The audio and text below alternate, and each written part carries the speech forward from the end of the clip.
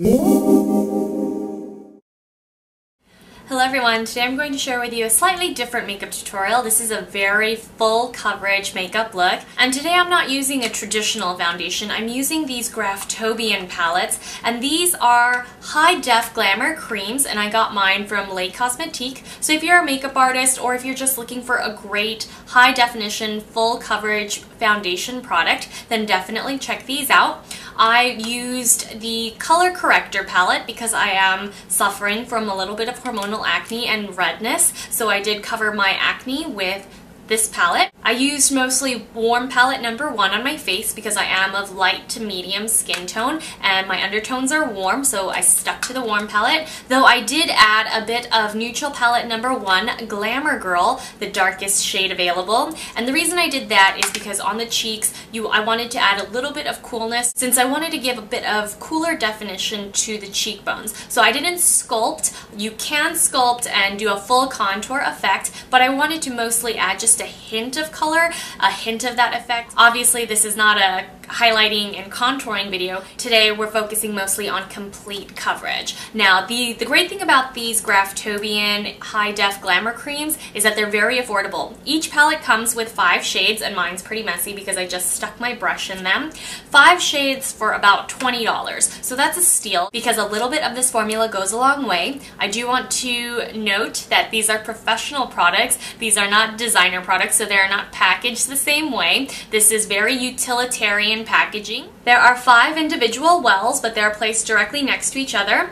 And on the bottom is the label that displays the name of each of the five wells. So even though you have a warm palette number one and a neutral palette number one, they each have shade names. That way, when you're mixing and matching or contouring and highlighting, you know exactly which color, which particular well you need for each part of the face. Now today I could have set with the banana cream pie. This is the professional grade alternative to Bobbi Brown's Shirley's powder. This does have a little bit more coverage though, so if you are of a warm skin tone like I am, this is a great product to invest in if the Bobbi Brown is a little bit out of your budget. I also highly recommend, however, the Graftobian powder foundation and I have this powder foundation palette. So it has eight of the warm shades that Graftobian offers and this is very high coverage. In fact, if you wear a tinted moisturizer or if you don't wear a liquid foundation at all, these particular shades are so versatile and you can mix and match them. I actually have to mix two of the colors, but that's what makes these professional products so much more versatile because they are meant for you to mix and match so that you can create the skin tones that you are looking looking for. As most of us know, designer cosmetics can get very expensive, so it's hard to buy two full-size foundations and mix and match to get your perfect shade.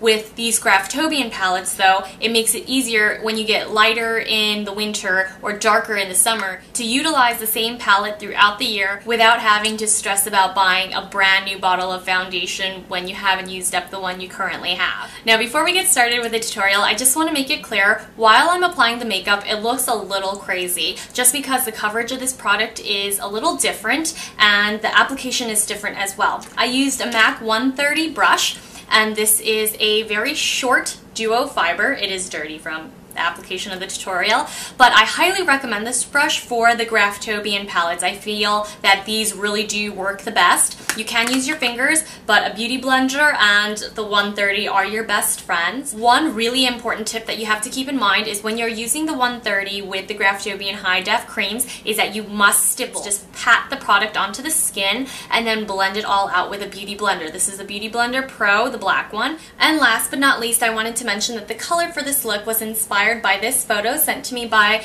a subscriber on Facebook. This is Kendall Jenner, I believe, and she wanted to wear this look to prom, so I recreated this look for her. But of course, I added my signature heavy eyeliner. You can skip the eyeliner, but this is a really universal, easy look to wear, and if you're going to be a bridesmaid, if you're even going to be a bride, this is a look, and these are products that you should definitely look into if you're being photographed or if you just want a really great way to wear full coverage makeup that's not going to break the bank, then again, check out the Graftobian palettes because they will be your new best friend. So thank you to all who requested this kind of high definition full coverage makeup tutorial and I really do hope it helps. So to begin, I already applied a little bit of liquid foundation, just about half a pump, and now I'm blending in the concealer just to reduce the look of some blemishes. So I've let the concealer sit for a couple minutes just to warm it up on the skin, and now I'm just going to go through and blend it all in. Now that I've gently blended in some of the concealer, I'm going to use my Graftobian High Def Glamour Cream Corrector palette, and I'm going to use the soft orange color. I'm just going to take my finger and pat that right where my dark circles are the bluest. Now I'm going to take a little bit of the green and since green counteracts blemishes, I'm going to place that along the most active of my blemishes.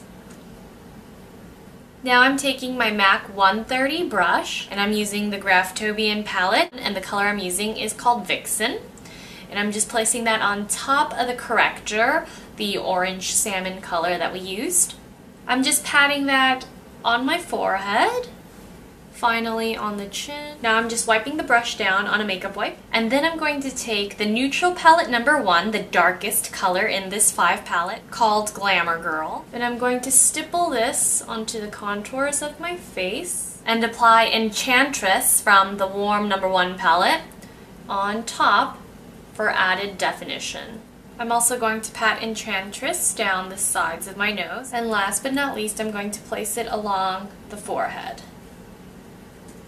Down the temples. And now we're going to take a beauty blender and blend everything out. Now clearly this is a whole lot of foundation and a little bit of this stuff goes a long way. Now to set the creams, I used a mixture of this color, Cafe au Lait, with golden tan and when used to set it gave me a really matte look. Now if you wanted less coverage again you could use the Graftobian Banana Cream Pie Powder and obviously this is a very heavy matte look so I'm just going to mix it up a little bit and add you know and bring some luster back into the skin with highlighting products. First things first I'm going to sculpt a little bit with my Bobbi Brown bronzer in natural and this is just to bring a little bit of warmth back into my skin.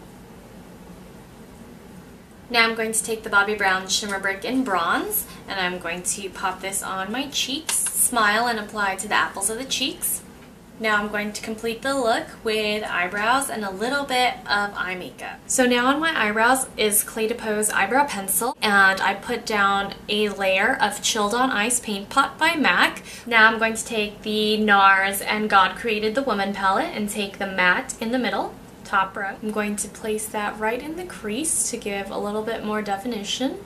Now I'm going to take a big fluffy MAC 227 and grab the champagne pink. I'm going to pat this all over the eye and you really want to concentrate the color on the lid because that's what's going to pop against the black eyeliner. Now for a bit of extra warmth in the corner I'm going to take this slightly more coppery version and I'm going to place this on the outer lid now I'm going to dip back into the matte middle color and then I'm going to trace the outer half of the eye with it, just the lower lash line. Now I'm going to take my Le Métier de Beauté pen eyeliner. My preference is heavy winged cat eyeliner, but you can wear a natural look, so I'm going to show you natural first.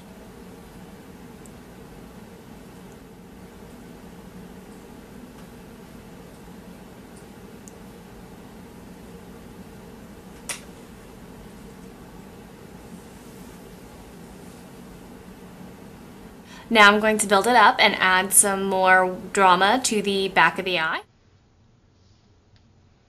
And there you have it, the bigger, bolder, sexier eyeliner alternative. So now that I'm back, all I did was apply two coats of mascara, one coat on my lower lashes and two coats on my upper lashes. And I'm going to finish off with a really natural lip look. This is the Edward Bess Secret Desire lipstick. And for added shine and shimmer, I'm going to use the Le Métier Vanilla Rose Creme de Gloss. And that's a wrap for the tutorial. Now, you can always go ahead and add false lashes, but I wanted to skip them today just because I did go heavy on the eyeliner. Obviously, if you're being photographed, currently I'm not, so I just wanted to show you how the skin can be achieved and how to add color into it without overdoing it. So this look photographs really well, so I hope you enjoyed the tutorial and found it helpful, and definitely check out Graftobian palettes for those special occasion events. Thanks so much for tuning in, and I'll see you all very soon in my June favorites video. Bye!